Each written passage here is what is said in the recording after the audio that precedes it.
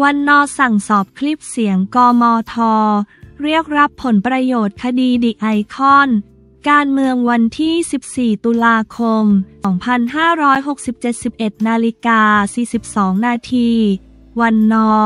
สั่งสอบคลิปเสียงกมท เรียกรับผลประโยชน์คดีดิไอคอน เมื่อเวลา 10 นาฬิกา วันที่ 14 ตุลาคม ที่อนุสรณ์สถาน 14 ตุลา นายวันมูฮัมหมัด นอมัทา ประธานสภาผู้แทนราษฎรให้สัมภาษณ์ ถึงกรณีมีการเผยแพร่คลิปเสียง เรียกรับทรัพย์จากผู้ต้องหาในคดีบริษัทดิไอคอนกรุ๊ปจำกัดในชั้นกรรมาธิการ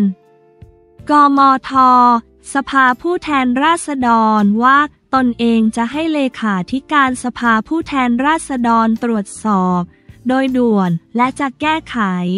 เพราะมีเรื่องทำนองดังกล่าวเกิดขึ้นบ่อย ยืนยันว่าจะรีบดำเนินการคิดว่าคงไม่ยาก เมื่อถามย้ำว่าจะดำเนินการอย่างไรไม่ให้เรื่องนี้เกิดขึ้นอีก นายวันมูฮัมหมัดนอกล่าวว่าเป็นเรื่องของบุคคล เพราะเมื่อสภาตั้งกมท มีทั้งบุคคลภายในตัวแทนรัฐบาล และบุคคลภายนอกเราไม่สามารถตรวจสอบได้หมด แต่หากพบเห็นเราต้องแก้ไขให้บุคคลเหล่านั้นพ้นตำแหน่ง ไม่ให้เป็นเยี่ยงอย่างอีกต่อไป นายวันมูฮัมหมัด นอกล่าวว่า ส่วนกรณีคลิปเสียงที่ปรากฏ ยังเป็นเพียงข้อกล่าวหา ต้องมีการสืบสวนข้อเท็จจริง คาดว่าคงไม่ยาก หากมีผู้เสียหายมายืนยัน ซึ่งฝ่ายเลขาธิการสภาจะตรวจสอบทันที เพราะเป็นเรื่องความน่าเชื่อถือที่เราต้องสร้างให้กับประชาชน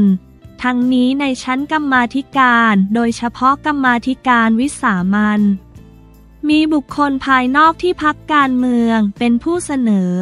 ดังนั้นต่อไปจะต้องมีความระมัดระวัง นายวันมูฮัมหมัด นอกล่าวว่าอย่างไรก็ตาม หากประชาชนสงสัยขอให้ติดต่อมาส่วนบทลงโทษแม้ไม่เป็นสอสอแต่เข้ามาดำรงตำแหน่งกรรมาธิการนั้น จะต้องให้เจ้าหน้าที่ตำรวจจัดการ เพราะการแอบอ้างและหาผลประโยชน์มีโทษกฎหมายอาญาแต่ขอให้แจ้งหลักฐานที่ชัดเจนก่อน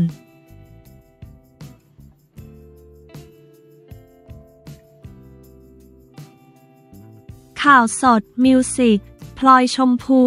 แต่งเองซิงเกิลใหม่ ฟ้าผ่า การสูญเสียที่เกิดขึ้นกระทันหัน บันเทิงวันที่ 14 ตุลาคม 2567 9นาฬิกา ข่าวสดมิวสิกพลอยชมพู แต่งเองซิงเกิลใหม่ ฟ้าผ่า การสูญเสียที่เกิดขึ้นกระทันหัน ได้ ยก Q E E T H A อดีตมือกีตาร์วง Paper Plane เป็นโปรดิวเซอร์ข่าวสด มิวสิกศิลปินสาว พลอยชมพู ปล่อยซิงเกิลใหม่ ฟ้าผ่าที่เจ้าตัวแต่งเพลงนี้เอง โดยได้รับแรงบันดาลใจแรกกับหัวข้อพอดแคสต์ เกี่ยวกับการถูกบอกเลิกแบบฟ้าผ่า ไม่จำกัด แค่การเลิกกันระหว่างคนรัก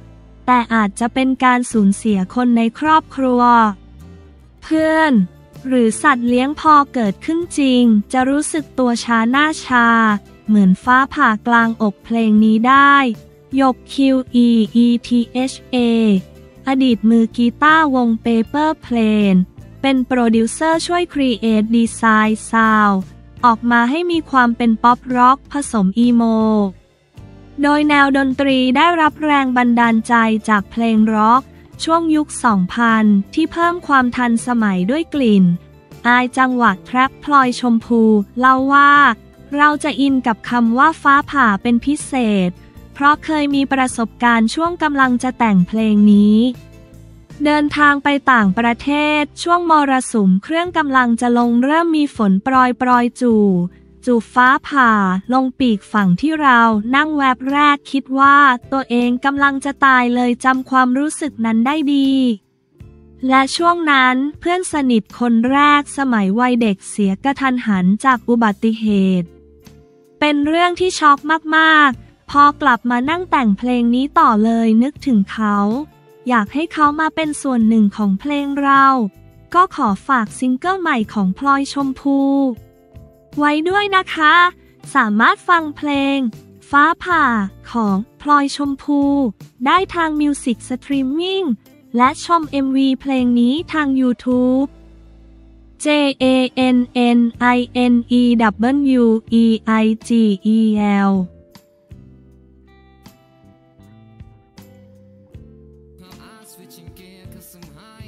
วันแรกคึกคัก เปิดรับสมัครนายกอบจเมืองช้าง ศึกในตระกูลการเมืองใหญ่ลงชิงเก้าอี้กันเอง การเมืองวันที่ 14 ตุลาคม 2567 13นาฬิกา 35 นาที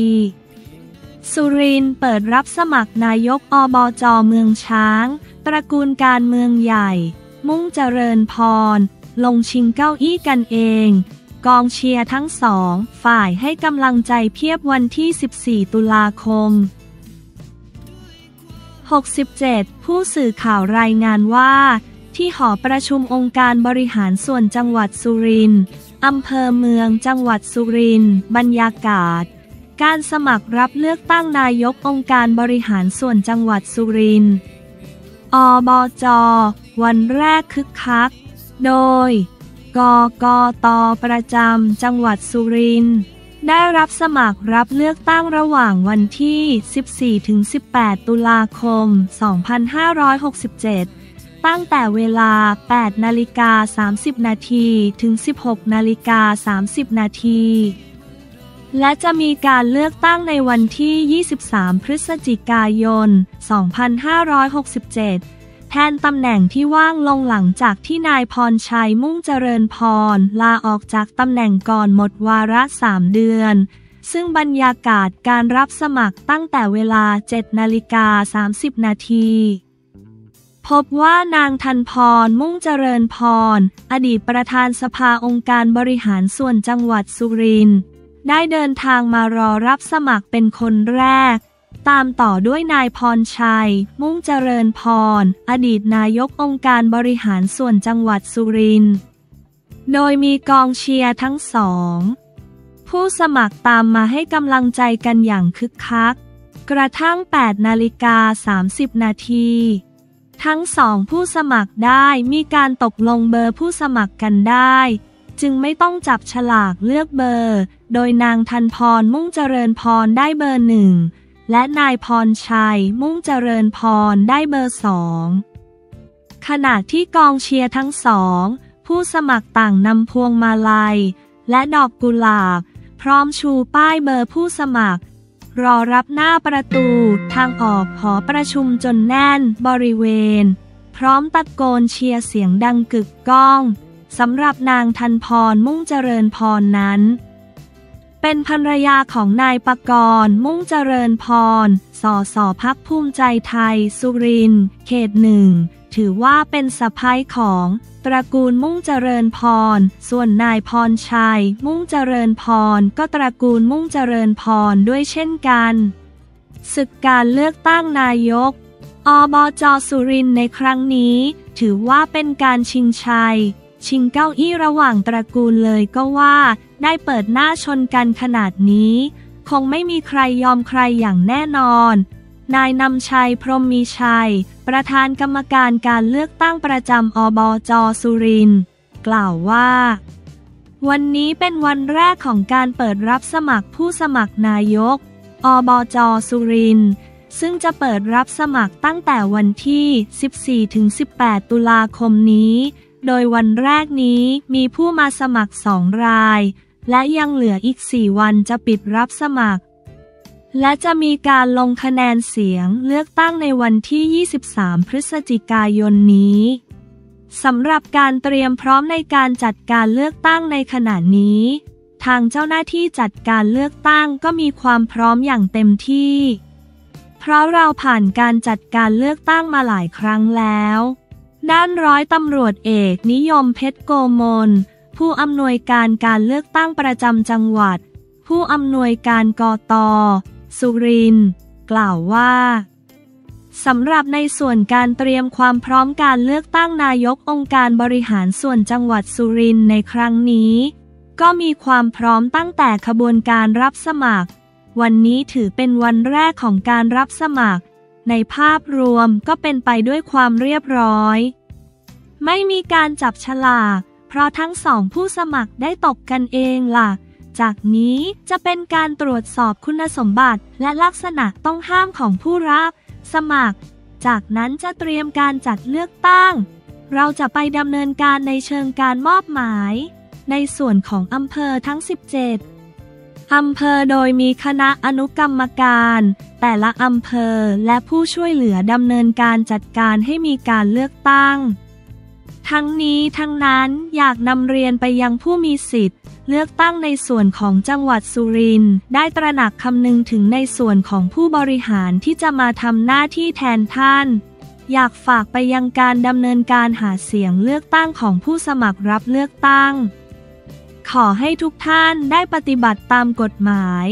วิธีการหาเสียงเลือกตั้งอย่างเคร่งครัด ทางประธานกกต อบจและทางกกตจังหวัดตลอดจนทางอบจก็จะได้ดำเนินการในส่วนที่เกี่ยวข้องตามลำดับ ตามแผนงานการจัดการเลือกตั้งต่อไป